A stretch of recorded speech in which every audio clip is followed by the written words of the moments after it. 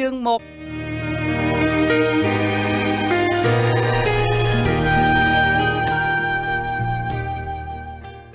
យើងខ្ញុំសូមជម្រាបសួរបងប្អូនជាថ្មីម្ដងទៀតថ្ងៃនេះយើងមកដល់មេរៀនទី4នៃវគ្គមេរៀនប៉ះពាល់ព្រះមុនយើងរៀនយើងសូមរំលឹកនៅមេរៀនចាស់គឺការដែលយើងប៉ះពាល់បេះដូងបេដានៅឯលើឈើឆ្កាងឯមេរៀននេះយើងនឹងមានចំណងជើងថា ការប៉ះពាល់ប្រជាស្ដាព្រះយេស៊ូវដែលទ្រង់ប្រោះអ្នកជំងឺឲ្យបានជាមេរៀននេះនឹងលើកទឹកចិត្តឲ្យបងប្អូនកាន់តែជឿថាព្រះអង្គមានអំណាចប្រជាស្ដាអាចប្រោះអ្នកដែលឈឺឲ្យបានជាហើយយើងនឹងលើកទឹកចិត្តឲ្យបងប្អូនជឿថាព្រះអង្គអាចប្រើបងប្អូន មានអំណាចប្រជាស្ដារបស់ព្រះយេស៊ូវដែលព្រះអង្គប្រើយើងដែលជាអ្នកជឿនឹងមានអំណាចប្រជាស្ដាដោយព្រះអង្គនៅថ្ងៃនេះដែរ នៅក្នុងព្រះគម្ពីរម៉ាកុសជំពូក16ខ15ដល់ខ18ចែងថាព្រះអង្គមានបន្ទូលទៅគេថាជួយឲ្យអ្នករាល់គ្នាទៅគ្រប់ទាំងកន្លែងនៅក្នុងពិភពលោកឲ្យប្រកាសដំណឹងល្អដល់មនុស្សលោកទាំងអស់ចុះអ្នកណាជឿត្រូវតែទទួលបុណ្យជាមួយទឹកប្រជាម្ចាស់នឹងសង្គ្រោះអ្នកនោះរីឯអ្នកមិនជឿនឹងទទួលទោសអស់អ្នកណាដែលជឿនឹងធ្វើទីសម្គាល់ទាំងនោះ គឺគេនឹងដេញខ្មោចនៅក្នុងនាមខ្ញុំ គឺព្រះអង្គព្រះយេស៊ូវគេនឹងនិយាយភាសាចម្លែកដ៏អស្ចារ្យប្រសិនបើគេត្រូវសត្វពស់ចឹកឬក៏ត្រូវគេដាក់ថ្នាំពុលគេពុំអាចនឹងគ្រោះថ្នាក់អ្វីឡើយប្រសិនជាគេដាក់ដៃលើអ្នកជំងឺអ្នកនឹងបានជា អ្នកនោះនឹងបានជាសះស្បើយពិតប្រាកដតើយើងនឹងប៉ះពាល់ប្រជាស្ដាររបស់ព្រះយេស៊ូវដែលទ្រង់អាចប្រោះអ្នកជំងឺឲ្យបានជានៅថ្ងៃនេះយ៉ាងដូចម្ដេចនៅក្នុងព្រះគម្ពីរម៉ាកុសជំពូក16ខ15ដល់18បានប្រាប់យើងអំពីព្រះអង្គប្រ កបនៅ3ប្រការដែលត្រូវតែមាន ដើម្បីឲ្យយើងអាចនឹងប៉ះពាល់ប្រជាស្ដាររបស់ព្រះអង្គដោយមានអំណាចប្រជាស្ដារអាចប្រោះអ្នកជំងឺឲ្យបានជាដូចតទៅប្រការទី1គឺការប្រកាសដំណឹងល្អរបស់ព្រះអង្គព្រះគម្ពីរបានចែងថាបើមានអ្នកណាជឿនឹងមានទីសម្គាល់នឹងការអស្ចារ្យកើតឡើង តែមុននឹងមានអ្នកជឿត្រូវតែមានការប្រកាសដំណឹងល្អជាមុនសិននៅក្នុងព្រះគម្ពីររ៉ូមជំពូក10ខ17ប្រាប់ថា អ្នកជឿកើតឡើងដោយសារតែការប្រកាសដំណឹងល្អអំពីព្រះយេស៊ូវនៅគម្ពីររ៉ូមជំពូក1ខ16បានប្រាប់ថា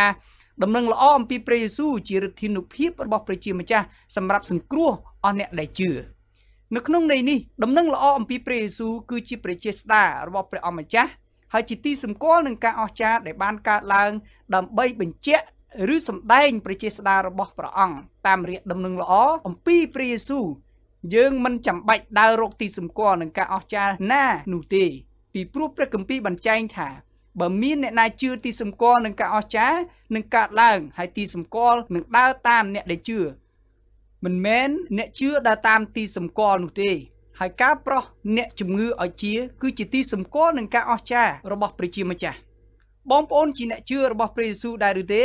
ដូច្នេះការប្រោះអ្នកជំងឺឲ្យជា គឺជាទីសម្គាល់នឹងកើតឡើងនៅថ្ងៃនេះ តើដំណឹងល្អអំពីព្រះយេស៊ូវនោះគឺជាអ្វីនៅក្នុងព្រះគម្ពីរលោកកាចំពុក4ខ18ដល់19បានចែងថាព្រះអង្គព្រះយេស៊ូវបាននាំដំណឹងល្អមកឲ្យអ្នកជឿលើទ្រង់បានទទួលនូវសេចក្តីសង្គ្រោះផ្លាស់ប្ដូរឋានៈពីកូនប្រែតមកជាកូនព្រះ អ្នកខ្ទេចខ្ទាំនៅក្នុងចិត្តនឹងទទួលការប្រោះឲ្យជា អ្នកដែលត្រូវអរិយជន់ឬចងនឹងទទួលការដោះលែងអ្នកដែលមានជំងឺនឹងត្រូវទទួលការប្រោះលក់ឲ្យបានជាហើយទ្រង់នឹងបង្កើតសិស្ស ឲ្យអ្នកជឿមានជីវិតដែលមានជ័យជំនះបងប្អូនបានលើដំណឹងល្អពីអំពីព្រះយេស៊ូវដែលយើងបានអានជូនអំបញ្ញមិញហើយឬនៅហើយបងប្អូនជឿដែរឬទេថាព្រះអង្គមានអំណាចពេជ្ជស្តាបើបងប្អូនជឿទីសម្គាល់នៃការប្រោះអ្នកជំងឺឲ្យបានជា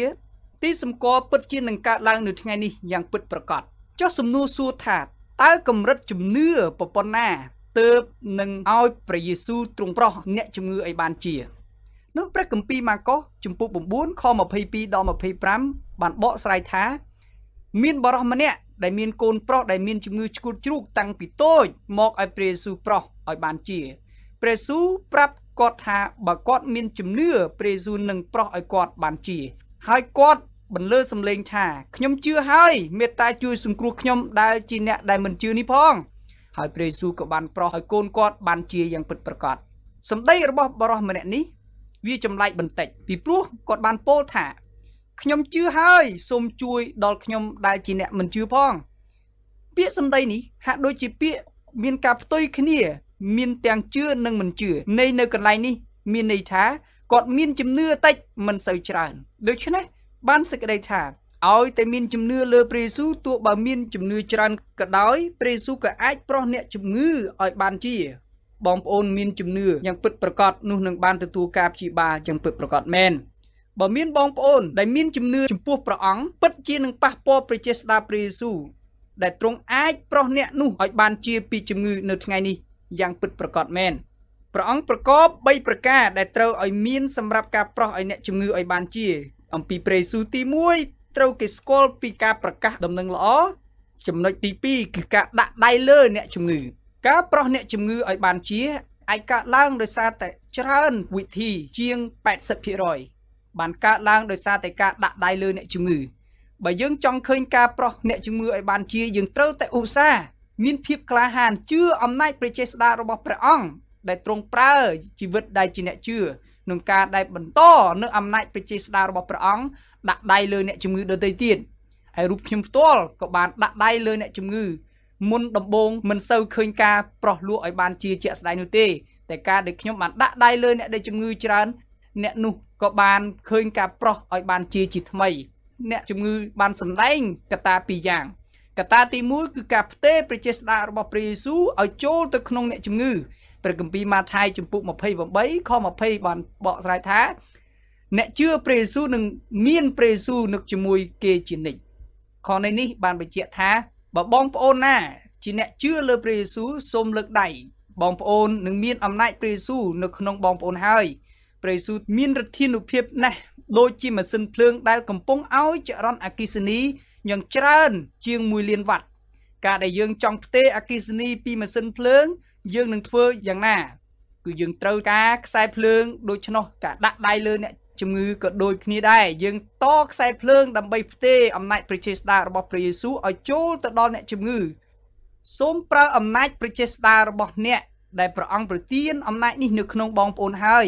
សូមឲ្យបងប្អូនហ៊ានប្រើដោយមានសេចក្តីជំនឿនិងសេចក្តីក្លាហានដោយដាក់ដៃរបស់បងប្អូនទៅដល់អ្នកជំងឺដែលឈឺនៅក្បែរអ្នកដែលបងប្អូនអាចនឹងទេអំណាចរបស់ព្រះជាម្ចាស់ ហើយព្រះអង្គគឺជាប្រភពនៃធម្មពលដែលទ្រង់អាចនឹងព្យាបាលដល់អ្នកជំងឺនោះបាន កាលណាដែលយើងដាក់ដៃលើអ្នកជំងឺយើងជឿយ៉ាងប្រកាសថា ពិតជាអំណាចព្រះជាស្ដារបស់ព្រះជាម្ចាស់នឹងប្រោះឲ្យជាយ៉ាងពិតប្រាកដហើយយើងមិនចាំបាច់ខំប្រឹងប្រើអារម្មណ៍នោះទេចូលចងចាំថា យើងមិនមែនជាអ្នកដែលប្រោះអ្នកជំងឺឲ្យជានោះទេតែព្រះជាម្ចាស់ទេតើដែលជាអ្នកប្រោះជំងឺនោះឲ្យជា ដូច្នេះមិនចាំបាច់ជួយព្រះនោះទេព្រះអង្គទ្រង់ផ្ទាល់ដែលទ្រង់ជាប្រភពនៃធម្មពលនិងអំណាចព្រះចេស្តាការដាក់ដៃលើអ្នកជំងឺឲ្យបានជាមានកត្តាពីរយ៉ាងកត្តាទី1គឺផ្ទេរអំណាចព្រះចេស្តាព្រះយេស៊ូវចូលទៅដល់អ្នកដែលជឿប្រការទី2គឺការប្រើសិទ្ធិអំណាចរបស់ព្រះយេស៊ូវគ្រីស្ទនៅក្នុង2អេផេសូចំពុក2ខ6នៅក្នុងន័យនោះបានសម្រាយថាអ្នកជឿព្រះយេស៊ូវមានឋានៈខ្ពស់បំផុត ពីព្រោះគេបានកំពុងអង្គុយលើបល្ល័ង្កជាមួយនឹងព្រះយេស៊ូវនៅស្ថានដ៏ខ្ពស់បំផុតនៅក្នុងគម្ពីរអេផេសូដដែលចំពុក1ខ21មានចែងថាព្រះយេស៊ូវមានអំណាចលើឈ្មោះទាំងអស់ការដាក់ដៃលើអ្នកជំងឺបានសម្ដែងនៃការប្រើសិទ្ធិអំណាចបញ្ជាឲ្យជំងឺនោះឲ្យបានជាជំងឺនោះមួយមួយក៏ជាឈ្មោះដែរដូចជាជំងឺឈឺក្បាលឈឺកឈឺស្មា និងឈឺខ្នងមហារីកជាដើម ហើយអ្នកជឿព្រះយេស៊ូវមានសិទ្ធិប្រើអំណាចរបស់ព្រះយេស៊ូវដែលមានអំណាចអាចបណ្ដេញឈ្មោះជំងឺទាំងនោះឲ្យចេញពីអ្នកឈឺយ៉ាងពិតប្រាកដម្យ៉ាងទៀតនៅមេរៀននេះពិតជានាំឲ្យយើងដឹងថាជំងឺខ្លះកើតឡើងដោយមេរោគក៏ប៉ុន្តែជំងឺខ្លះកើតឡើងដោយសារវិញ្ញាណអាក្រក់ដែលនាំឲ្យជំងឺនោះមកដល់ជីវិតយើងដូច្នេះអ្នកជឿត្រូវតែមានសិទ្ធិ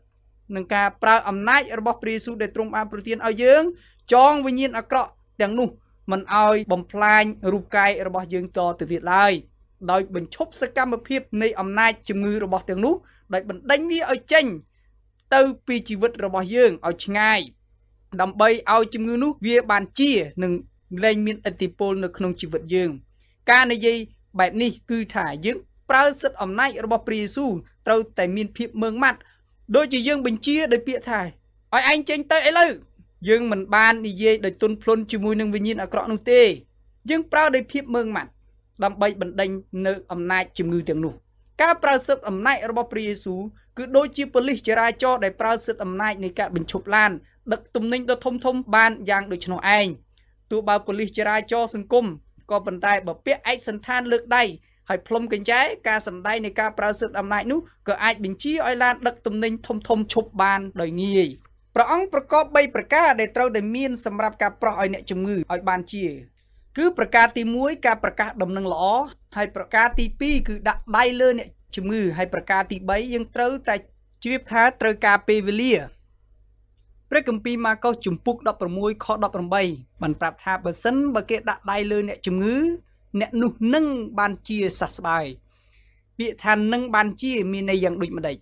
មានន័យថាការប្រោះឲ្យជានោះមិនមែនជាហេតុការណ៍តែមួយផ្លែតចប់នោះទេ តែជាហេតុការណ៍ដែលបន្តបន្ទាប់គ្នា បានសេចក្តីថាជាការប្រោះអ្នកជំងឺឲ្យបានជាត្រូវការពេលវេលាជាច្រើនការដែលយើងដាក់ដៃលើអ្នកជំងឺចាប់តាំងពេលវេលានោះព្រះជាស្ដារបស់ព្រះយេស៊ូវដែលនឹងប្រោះឲ្យអ្នកនោះឲ្យបានជាចូលទៅក្នុងអ្នកជំងឺទៅហើយ ហើយក៏ត្រូវការពេលវេលាដែលនឹងប្រោះឲ្យបានជាយ៉ាងពេញលេញអ្នកខ្លះត្រូវការពេលវេលា1នាទីនឹងបានជានោះមានន័យថាមួយរំពេចយើងនឹងហៅថាការអស្ចារ្យតែអ្នកខ្លះត្រូវការ3នាទីត្រូវការ3ថ្ងៃអ្នកខ្លះក៏ត្រូវការ3ខែជាដើមឧទាហរណ៍ថាបើបងប្អូនឈឺក្បាលហើយទៅរកគ្រូពេទ្យគ្រូពេទ្យបានត្រួតពិនិត្យមើលហើយក៏ឲ្យបងប្អូនទៅទិញថ្នាំប៉ារ៉ាមកលេបម្ដងពីរគ្រាប់ហើយលេប3ដងក្នុងមួយថ្ងៃនឹងបានជា ការដែលបងប្អូនទៅទិញប៉ារ៉ាមកហើយនឹងមានអ្វីកើតឡើង បាទការឈឺក្បាលនោះនឹងបានជាឬភាពធូរស្រាលនឹងកើតឡើង តែមិនទាន់បាត់ទាំងអស់នោះទេខ្ញុំគិតថាបងប្អូនមិនបានធ្វើដូច្នោះទេគឺត្រឡប់មករកគ្រូពេទ្យហើយទៅនិយាយថា អ្នកជាគ្រូពេទ្យខ្លាំងខ្លាយព្យាបាលខ្ញុំអត់ជាទេ តែត្រូវឲ្យលុយខ្ញុំមកវិញហើយបងប្អូននឹងគិតថាគ្រូពេទ្យនឹងធ្វើយ៉ាងដូចម្ដេចគ្រូពេទ្យនឹងជេរអ្នកថាអ្នកជាអ្នកលប់សតិទៅហើយ មិនយល់តតែសោះថាការព្យាបាលនោះវាត្រូវការពេលវេលាសរុបមកមេរៀននេះលើកទឹកចិត្តឲ្យបងប្អូន ដឹងថា អំពីការប៉ះពាល់អំណាចប្រជាស្ដាររបស់ព្រះយេស៊ូវដែលអាចនឹងប្រោះអ្នកជំងឺឲ្យបានជា គឺត្រូវការប្រកាសដំណឹងល្អយើងត្រូវក្លាហានដោយការដាក់ដៃហើយយើងម្នាក់ម្នាក់ដែលជាអ្នកជឿយ៉ាងពិតប្រាកដត្រូវតែត្រូវការពេលវេលាយ៉ាងពិតប្រាកដនោះដែរព្រះយេស៊ូវទ្រង់មានវត្តមានកដាចំណោមយើងជាអ្នកស្ដាប់ ដើម្បីឲ្យទ្រង់អាចនឹងសន្ធិដ្ឋនៅលើបងប្អូនហើយទ្រង់នាំប្រជាស្ដារបស់ប្រជាម្ចាស់ទៅកាន់បងប្អូនដែលជាអ្នកជឿគ្រប់រូបហើយដើម្បីប្រទានកម្លាំងដល់បងប្អូនឲ្យមានភាពក្លាហានហើយអាចនឹងដាក់ដៃដល់អ្នកឈឺដទៃទៀតដែលនៅក្នុងព្រះនាមព្រះយេស៊ូវគ្រីស្ទដែលបណ្ដេញជំងឺគ្រប់យ៉ាងដូចជាជំងឺឈឺក្បាលជំងឺឈឺកជំងឺឈឺស្មាឬជំងឺគ្រប់ប្រភេទណាដែលអាចកើតជាជំងឺ រូបកាយឬជាជំងឺបណ្ដាសាយើងក៏អាចប្រើសិទ្ធិអំណាចបញ្ជាដោយភាពមើងម៉ាត់ដោយផ្ទេរអំណាចប្រជាស្ដាររបស់ព្រះយេស៊ូវឲ្យចូលទៅដល់អ្នកនោះដើម្បីអ្នកនោះបានជាពីជំងឺឈឺសន្លាក់ជង្គង់ដៃជើងជាដើមឡាក់ហើយព្រះអង្គនឹងប្រើយើងដោយអំណាចនៃសេចក្តីស្រឡាញ់អំណាចប្រជាស្ដាររបស់ព្រះយ៉ាងពិតប្រាកដ ហើយខ្ញុំបាទសូមជម្រាបលាដែលសូមបញ្ចប់មេរៀនទៅត្រឹមនេះសិនដែលរងចាំសិក្សាមេរៀនជាមួយគ្នានៅមេរៀនក្រោយទៀតជម្រាបលា សូមព្រះប្រទានពរសូមអរគុណអាមែន